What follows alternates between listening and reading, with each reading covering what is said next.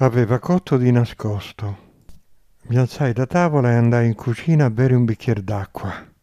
Mia sorella era seduta lì su uno sgabello. Teneva sulle ginocchia il tegame dove aveva cotto di nascosto una bistecca. Raccoglieva con cura il grasso rimasto sul fondo con pezzetti di pane che mangiava avidamente. Cercò di nascondere il tegame sotto il tovagliolo. Ma non eri vegetariana, chiesi.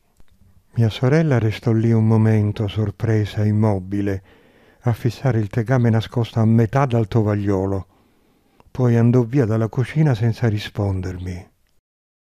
In un attimo capì la verità sui reali motivi del suo regime vegetariano. Lei si spacciava per vegetariana per seguire la moda, non per rispettare le vite inferiori all'umana. Quando non la vedeva nessuno, ritornava in se stessa, e ubbidiva alla voglia primitiva di mangiare la carne.